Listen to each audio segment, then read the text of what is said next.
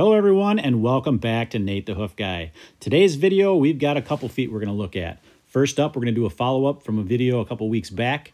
And second, we're going to look at a, a precursor to foul in the foot. Let's get right into the follow-up. About three weeks ago, I posted a video uh, fixing a white line and a brown Swiss cross.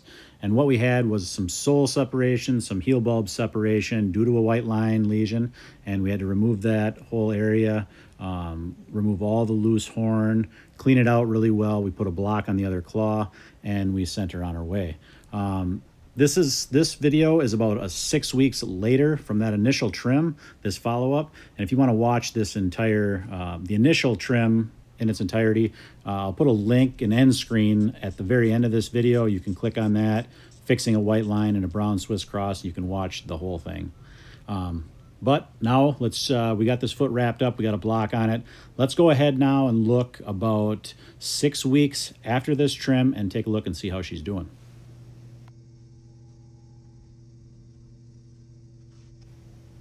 So as you can see, that entire area has completely filled in with brand new hard horn, which is perfect.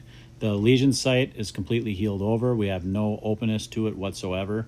All I'm doing here now is is cleaning up all the the little loose bits that from around um, that lesion site. I left that uh, outside wall intact for the most part on that initial trim, and so I'm going to clean up anything that's loose there remaining now from that.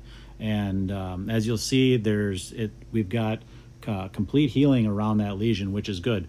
A lot of times with these high white line lesions, they um, they do heal up really well. It's not it's really not rocket science if you just do a good job of of getting that loose hoof around uh, away from the lesion site then healing really it it's really a quick process normally i like to check these cows a little sooner than six weeks but this particular farm i uh, only go to every six eight weeks on average so um, the the follow up was later, but clearly this cow was in good shape. Had she not, um, he would have given me a call. But she's cleaned up, uh, healed up rather uh, perfectly, in, in my opinion. And uh, from here, all we got to do now is just make sure that um, there's nothing loose or underrun here. Going to clean this up a little bit, and uh, she'll be good as new.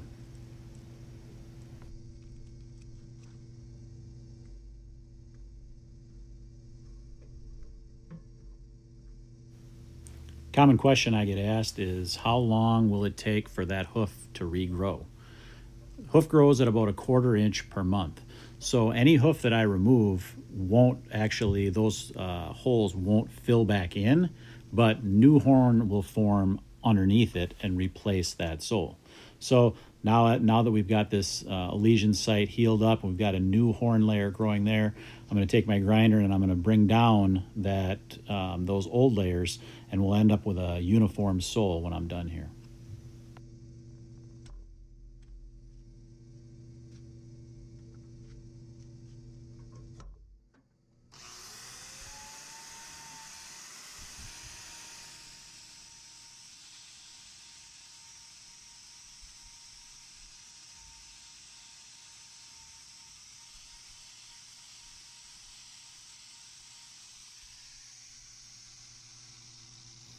And there you have it, another white line healed up.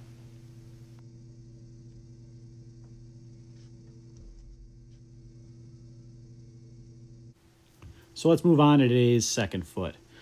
A while back, I did a video on foul in the foot, and what I forgot to mention in that video is another means of entry, which is through um, an already existing lesion. Like this case here, we have interdigital dermatitis going on.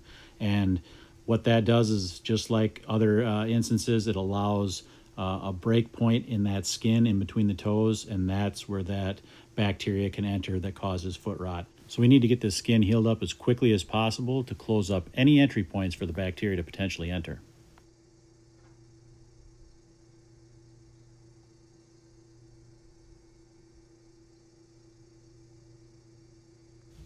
The powder I'm applying here is called salicylic acid. What this does is kill the bacteria that cause digital dermatitis, as well as bring down the inflammation in the area to allow for healing and get a nice layer of new skin to form to uh, close that lesion up. The way uh, the bacteria that cause foul enter the foot is through any type of uh, cut or abrasion in between the toes. That allows that bacteria to enter that then colonizes and begins feeding on the tissue. So we got to get this healed up right away so that none of those bacteria have an opportunity to get inside the foot.